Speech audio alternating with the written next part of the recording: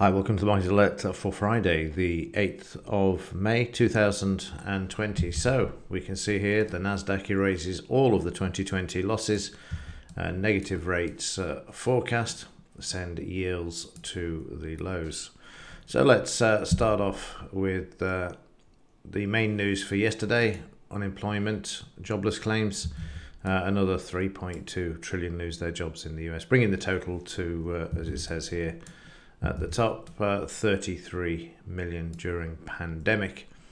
And it still hasn't finished. It's going to take a lot to get back down to the 200,000 levels uh, that uh, we see over here, 212,000 at the beginning of uh, January.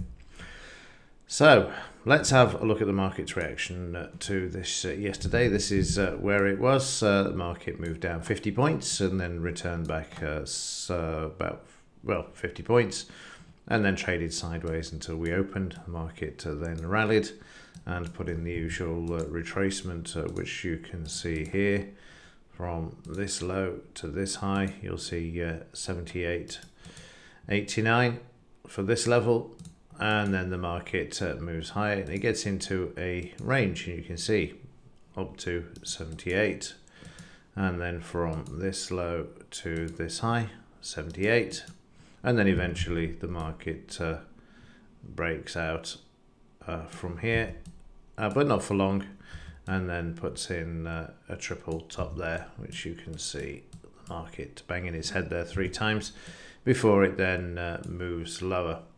Following the afternoon session in New York or during the afternoon session as uh, traders leave and go for lunch. But as soon as they return, you can see the market then uh, move lower uh, sharply by uh, 150 points back to the 200 MA and then uh, a, the classic rally before the close, uh, bringing back 50%, 62% of the losses. And then overnight, uh, I don't know what's happened here, but uh, there's no stopping it uh, at the moment. Uh, we're up 100, 200, 300 points on the overnight. Um, it, it is just uh, beyond belief now. And the disconnect, as I keep uh, going on about, is just staggering. Absolutely staggering. Here we've got another 3 million laid off. We've also got Kashkari saying that unemployment, the unemployment rate is as high as 24%. That's going a lot higher. And uh, yeah, you just couldn't make this stuff up. You really couldn't. Um, there was something else that I had for you as well. Uh, yes, this was the uh, uh, the negative rates, but I'm going to come back to that. I'm jumping around a bit here. Let me go back to the markets. Uh, so yeah, we're up 300 points uh, overnight and uh, you can see this now the market heading for the 62.76 as uh, prices continue back towards uh, the high that we see here around the 24,951 area. And of course today the UK market is closed. It's a bank holiday here in observation of the Veteran Day celebrations.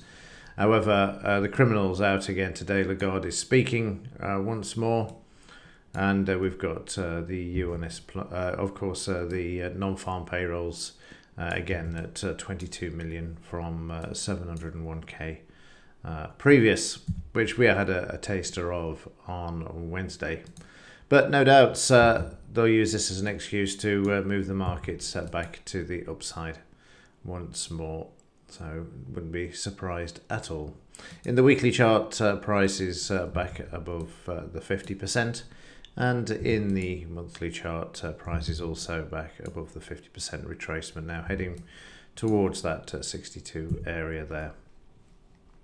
So, as it said in the headlines uh, over here, that uh, negative rates forecast. Uh, this is just in incredible, isn't it? You know, we've got a situation uh, where the the market's pricing in negative rates for January now uh, as can be seen here, Fed's, uh, the, the Fed funds implied rates uh, are going to be negative. Oh, we said that we'll end up with uh, NIRP. You've got ZIRP, which is zero rates, and NIRP negative. And uh, yeah, by the time we get to January, it's going to be uh, Armageddon, uh, as far as I can see, because we're going to get a second wave of the virus.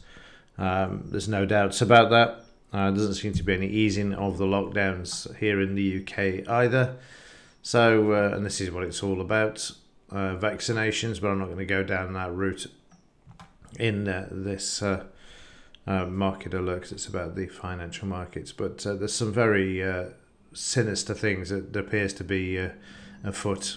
And as I've said before, the main uh, thing with the virus is that it, uh, it takes people's attention away from the financial markets and the economy, and they can do whatever they want.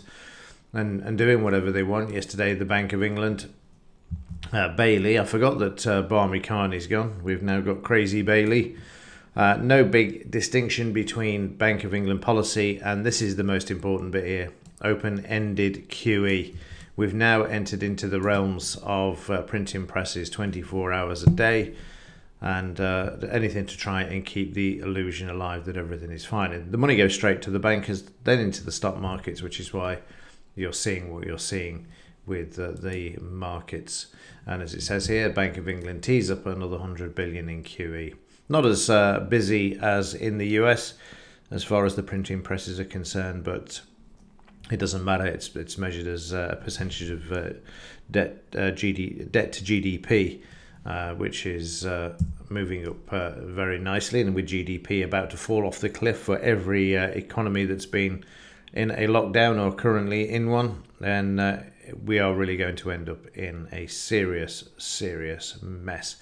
But it makes you wonder whether it's all engineered so they can reset the debt. It's a question that I've asked for a very, very long time. That in order to be um, blameless, there had to be something where all bankers, central bankers, would be uh, without blame, no prison sentences, etc. Just print money out of fresh air, create the uh, fraudulent, funny money, not backed by anything, and uh, then uh, destroy the system so it can be reset.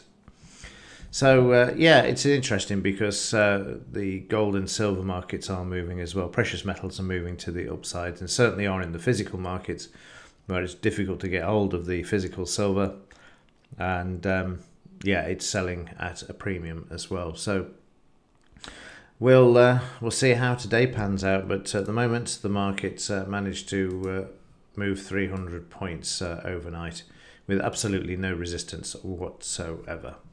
So it's going to be down to the uh, non-farm figures, which will be out at 1.30. So let's see what happens then. Okay, that will uh, do it for this one. The insanity continues, but uh, again, no surprise there. And uh, yeah, it's a VE day for the UK today, but I'll still be at my post because, uh, like I say, the US are open.